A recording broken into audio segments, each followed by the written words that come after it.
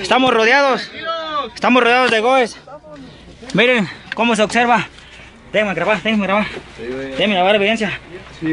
Este, se está viendo la resistencia. Cómo nos están rodeando.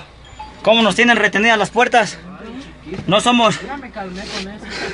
Somos como aproximadamente 8 autobuses, 6 autobuses de la normal. Somos la gente de Arteaga. Así vieron los estudiantes normalistas la llegada de las fuerzas policíacas, que les quitaron camiones que habían secuestrado y que fueron recuperados tras una trifulca en el que se usaron gases lacrimógenos y hubo un intercambio de golpes.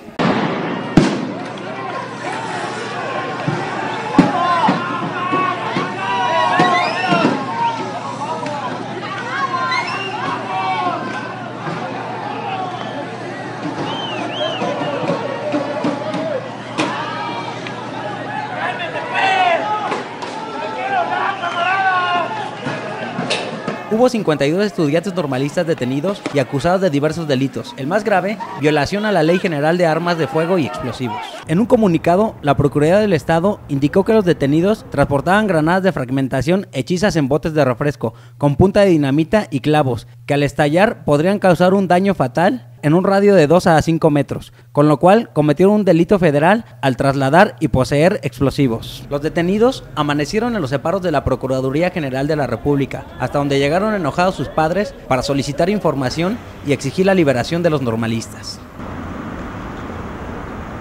Les damos con mucho sacrificio, con mucho esfuerzo sus estudios para que nos los traten así. No es justo, no es justo. Nuestros hijos no son delincuentes, están luchando por una causa que les pertenece a ellos, su trabajo. Muchos de los jóvenes podrían enfrentar un proceso largo por esta acusación federal, lo que tensa aún más la situación, ya que los normalistas amenazan con solicitar más apoyo de la gente para presionar por su libertad, algo que en esta ocasión parece poco probable, ante la decisión del gobierno de aplicar todo el peso de la ley en este asunto.